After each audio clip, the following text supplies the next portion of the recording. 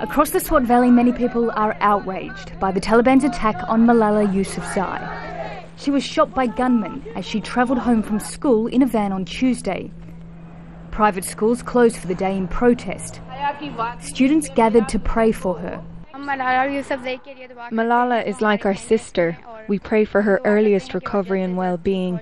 We also pray that other students can benefit from Malala's enlightened views. The attack is front page news in Pakistan. The Taliban has released this statement.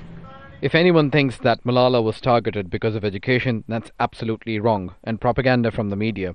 Malala was targeted because of her pioneering role in preaching secularism and so called enlightened moderation, and whoever does so in the future will also be targeted. Given the threat, it appears Yousafzai will need serious protection.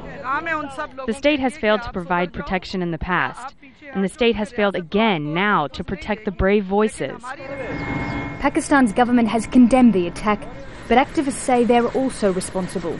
This is a state that has sponsored and fostered elements uh, that have now turned into the monster that we see as the Taliban. Judges are investigating the shooting, and the local government is offering a US $100,000 reward to anyone who can help police track down the gunman. The people who carried this out, the gang, has been identified. I promise that we will not let them escape and we will bring them to justice. A bullet was removed from Yousafzai's neck, close to her spinal cord. She's still unconscious.